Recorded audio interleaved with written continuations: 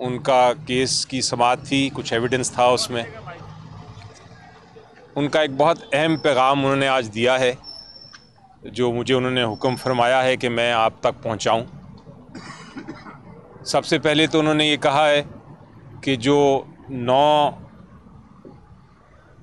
को रिज़ल्ट आएगा, आठ फरवरी के इलेक्शन का, उसमें इन पीटीआई की जीत होगी उन्होंने ये कहा है कि जो इलेक्शन है, ये इलेक्शन में आपने वोट इसलिए करना है क्योंकि ये पीटीआई का इलेक्शन नहीं, ये आवाम की आज़ादी के लिए इलेक्शन है। आवाम को अपनी आज़ादी के लिए और आवाम को रूल ऑफ़ लॉ के लिए ये इलेक्शन लड़ना है। और उसके साथ उन्होंने ये कहा है कि इतवार के दिन, ये जो आज इतवार आ रही है, उन्होंने पैगाम भेजा है अपने सारे कैंडिडेट्स को कि वो चूँकि इलेक्शन आठ फरवरी को होने जा रहा है, कुछ दिन रह गए हैं तो आठ फरवरी से अपनी ओपन आज़ाद कैंपेनिंग शुरू कर दें, बाहर निकल के। अभी तक जो कैंपेनिंग हो रही है, मजबूरन सोशल मीडिया पे कर रहे हैं या कुछ लोग कॉर्नर मीटिंग्स तक करना करने जा रहे हैं।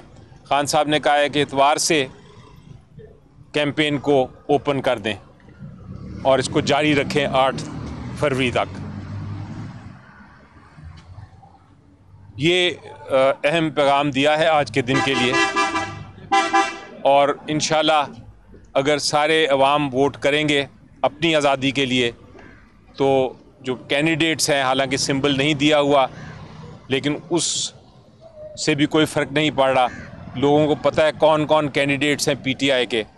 उन्हीं के लिए अवाम वोट करे, ताकि इन एक जमहूरी हुकूमत मेजॉरिटी हुकूमत बनाने में कामयाब हो जाए पीटीआई उसके बाद खान साहब ने कहा है कि जो दो सबसे अहम चीज़ें हैं एक है कानून की बालादस्ती।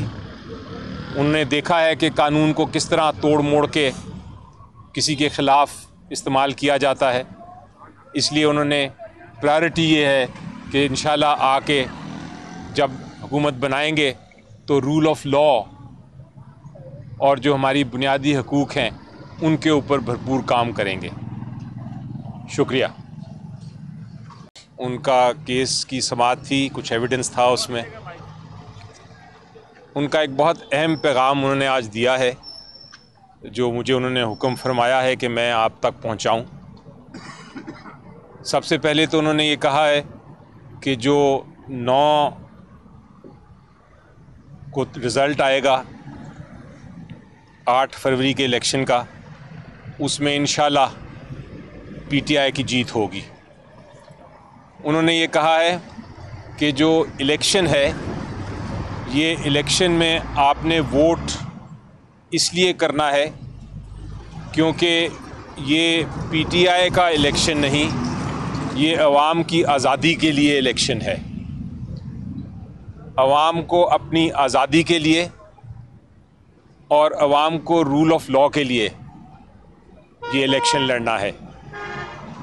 और उसके साथ उन्होंने ये कहा है कि इतवार के दिन, ये जो आज इतवार आ रही है, उन्होंने पैगाम भेजा है अपने सारे कैंडिडेट्स को कि वो चूँकि इलेक्शन आठ फरवरी को होने जा रहा है, कुछ दिन रह गए हैं तो आठ फरवरी से अपनी ओपन आज़ाद कैंपेनिंग शुरू कर दें, बाहर निकल के। अभी तक जो कैंपेनिंग हो रही है, मजबूरन सोशल मीडिया पे कर रहे हैं या कुछ लोग कॉर्नर मीटिंग्स तक करना करने जा रहे हैं।